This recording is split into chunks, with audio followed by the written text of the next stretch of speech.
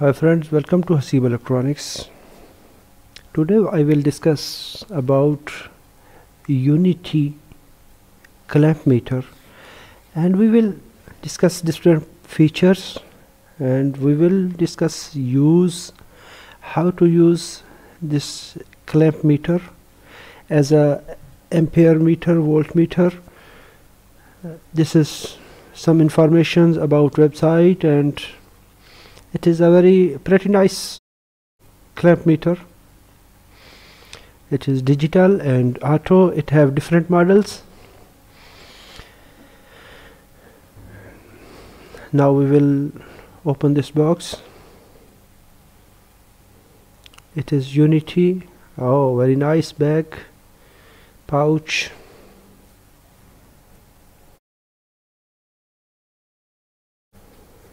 it is UT202 UNI-T this company very known company it it is uh, acceptable nice quality and uh, perfect. It is very nice. Okay we will remove this. Oh it is a small and it have a wristband to make safer.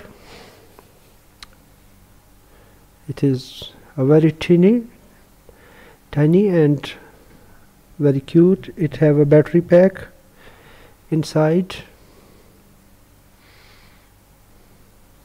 It is very fine quality. We will see what is there it have uh, a dial selector knob different types of dials and sub menus for current temperature voltage. We will see in detail it have hold button maximum and select bit button for sub menu diode ohm continuity. It have selector dial and it have test leads. We will discuss how to use this. For clamp meter we have to put in a wire in any wire which is carrying electrical current. We will see them. It have two leads like a routine multimeter. When I, I want to check current I have to clamp on one wire which is carrying current. Okay now I will connect test leads. It have volt ohm diode uh, range for continuity. First we will see the battery pack and the brochure. There is a small catalog it is operator manual how to use this but this is in I think Chinese or Taiwan language. How to use it is as a clamp meter it, how to install batteries how to use as a resistance. It have one cable set for test leads and second is temperature cable. We how we can remove battery? Uh, remove the screw and slide the back cover. It have two A size batteries. Remove battery pack from the multimeter. If we have to remove batteries there is a proper sign marking negative and positive. This multi this clamp meter multimeter uses 3 volt battery not 9 volt battery like other meters the battery have a negative and positive sign. Take care for the polarity of multimeter of the battery cells for multimeter. It is negative it is positive. Connect like this. Here it is negative here is positive. Match the polarity and insert the battery pack when it is pressed in. Now we can put a back cover. Just ins insert and slide. Fix the screw.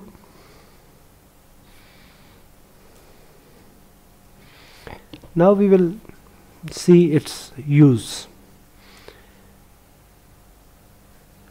First we will see how to measure voltage. It have test leads. We will install test leads. Negative as a common black lead as common port. And red lead at volt ohm diode function. When we use as a DVM or digital multimeter we, we will use test leads it is DC volt range. It is auto range multimeter just you have to select the range and connect the test leads to test point. It will give a correct reading.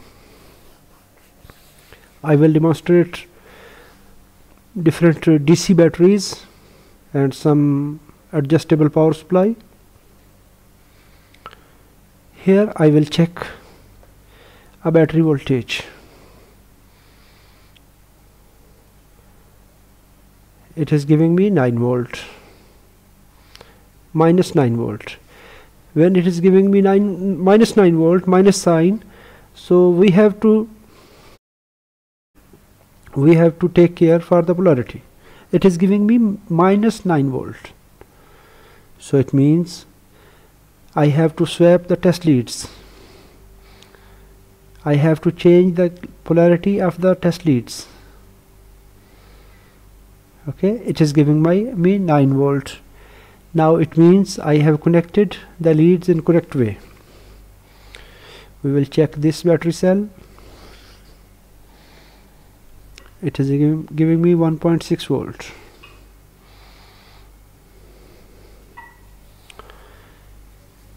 It is very nice. Now I have a adjustable power supply it is giving me minus 14 volt. That means these terminals are unidentified. I have to swap test leads to the uh, correct polarity. Now it is giving me 14.35 it means the cable at black lead that is negative the other lead that is positive. Okay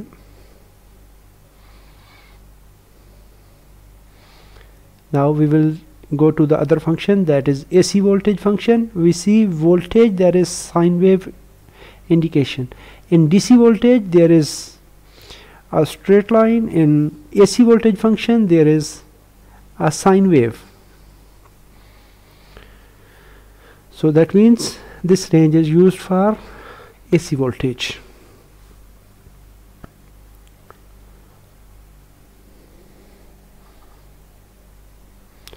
for measuring AC voltage. I will check AC voltage in this socket. I connected this cable to a power port. For measuring AC volt I put on selected the AC voltage range. Okay. It is giving me 232 volt. 31 32 volt. That's nice. In AC there is no difference for polarity. But for DC we have to take care for polarity. I can measure in any way neutral phase no problem. Phase to phase no problem. Now we will go to ohm range. The white range that is main range now we will work in ohm. There are two other ranges on the same I can check resistance like this 10 ohm. Sorry 100 ohm. This 18.19 kilo ohm. There are two other ranges that is operated by this blue button. Now I am in diode mode. The main dial that is white at ohm but we can select the sub ranges sub mode by the blue button I have this diode. It, it will check in 0.5 volt forward voltage. I will swap leads to test lead test diode. It is open because because diode is one way conductor. Here it is reading. So that means I can di differentiate between anode and cathode. Now I will check continuity. Now we can see on the screen there is a beep mode continuity mode there is audible tone. We can check any cable any conductor. I will check a power ca power cable.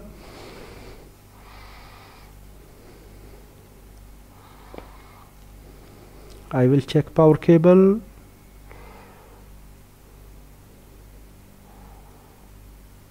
Yes I will connect one lead to one end. There is audible beep that means this cable is good and it will show the resistance of the cable.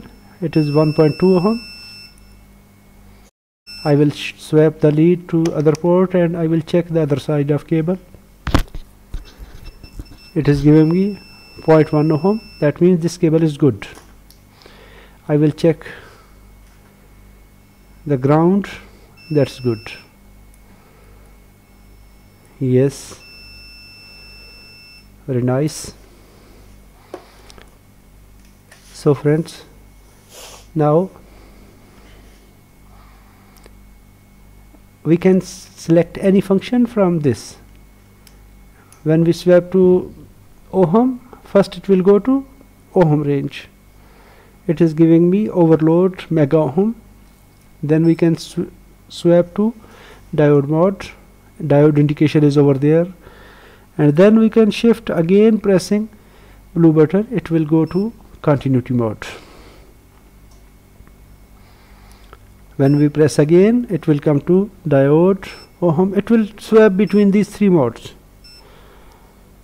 But first for ohm diode and continuity the main selector knob must be at ohm sign.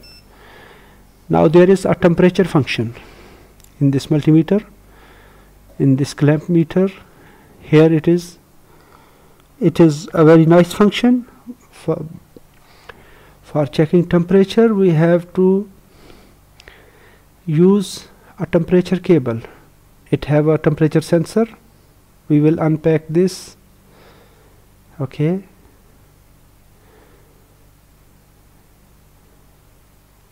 Connect. It is sensor connect red lead to red and black lead to black port now it is giving me 24 degree room, room temperature. I put in my fingers it is giving me by body temperature. Because this time I am in very cold room it is about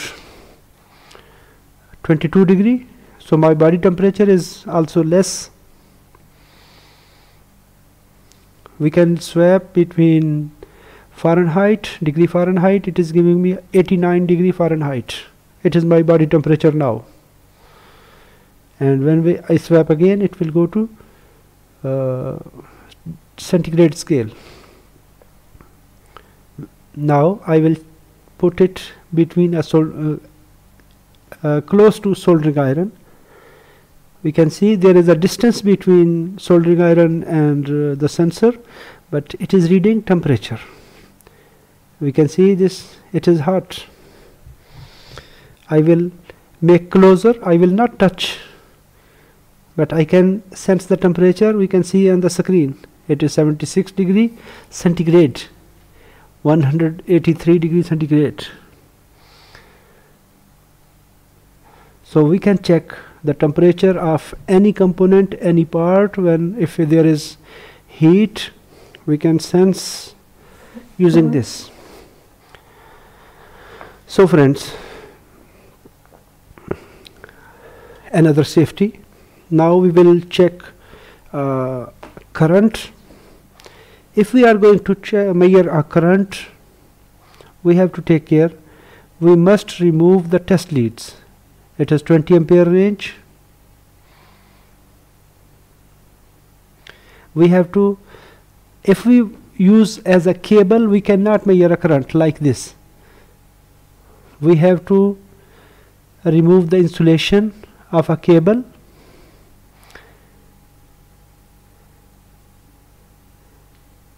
Okay? And we have we have to use a just single phase single wire. I have four wires here. I can use current for any wire which I read which I need it is giving me 0.447 ampere. If I use like this it will not give me good reading for cable. I have to measure current in one wire not a group of wires or cable. If I measure in a cable phase neutral any phase I can measure current but as a group I cannot measure current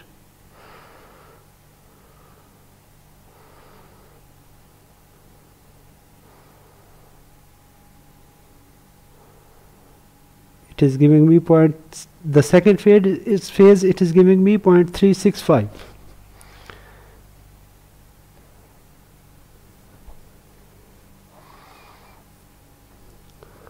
0.424 because there is a varying load. So we can measure current like this.